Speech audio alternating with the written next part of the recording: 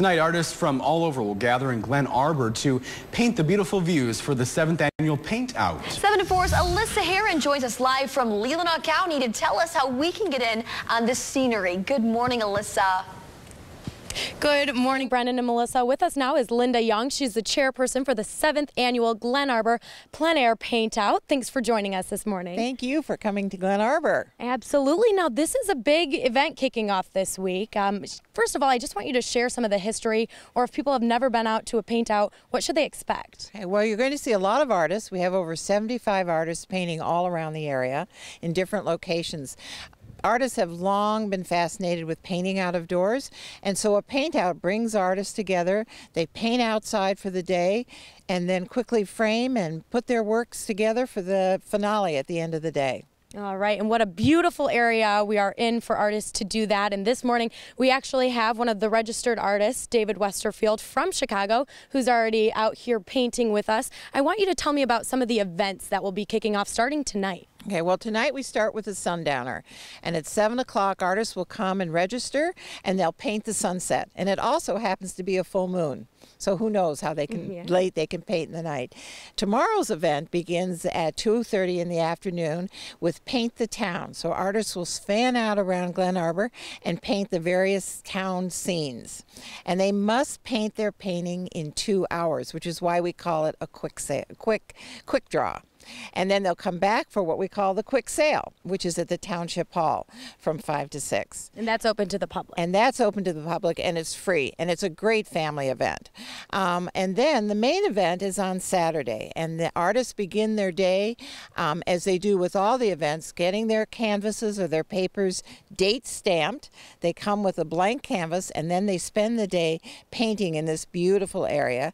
And that culminates with a large reception and wine and cheese event at the Glen Arbor Art Association from 5:30 to 7:30. Okay, and can artists still sign up for this? I know you said it sold out pretty quick. Yeah, artists can sign up for the Sundowner, and they could just need to show up at 7 o'clock at the Glen Arbor Art Association uh, in Glen Arbor, across from Cherry Republic, and then the quick draw on Saturday afternoon is open to artists. Still, we have 75 artists uh, already signed up for this uh, Friday event. Saturday is uh, a closed registration, and that filled in four hours in March. Wow. All right. Well, thank you so much. And you're going to have to come out to Glen Arbor this weekend and check out all of these amazing artists coming up. In the next half hour, we'll be talking with David himself about some of the hardest challenges of painting out in plein air. Plus, we're here live in Glen Arbor for the seventh annual plein air paint out. Coming up next, we're going to speak with an artist on why painting outdoors is so special to him. You're watching 7 and 4 News today. Good morning, Alyssa. Good morning, Brendan and Melissa. With us again is Linda Young, chairperson for the seventh annual Glen Arbor Paint Out. Uh, tell me about this event. When does it kick off tonight? It does kick off tonight. The uh, Glen Arbor Art Association has planned a fabulous three-day weekend of artists coming to this area painting beginning tonight at 7 o'clock. They'll be painting sunsets along Lake Michigan and Glen Lake, where we are right now. And then on Friday, they'll be painting the town in Glen Arbor from 2.30 to uh, 4.30. They'll come back and we can see their artwork at the Township Hall from 5 to 6 o'clock. So that's an exciting afternoon to watch artists complete a painting in two hours, and that's why it's called a quick draw. And then on Saturday is the big event, and this is our seventh annual. We're one of the largest in the state. Um, artists will be coming and painting the day in the area, and then from 5:30 to 7:30, we'll be having the reception and the sale, and an opportunity to see these wonderful paintings that reflect this beautiful area. Absolutely, and these will actually be for sale to the public. So if they're walking around town and see one they like, then yeah. if they're walking around town, see one they like, they can come to the township hall. We call it a quick sale because if you like it, you buy it, and uh, you have a painting right away that you can take home home. And then on Saturday night, we actually begin the evening with the sound of an antique foghorn, which says, Let the sale begin. Okay, and tell me um, uh, if artists can still register for this event. Artists can still register for the Sundowner, which is tonight. They can just come to the Glen Arbor Art Association off Lake Street in Glen Arbor.